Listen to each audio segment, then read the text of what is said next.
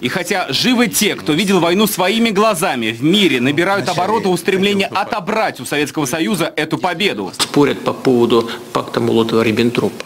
И обвиняют там Советский Союз в том, что он э, разделил Польшу.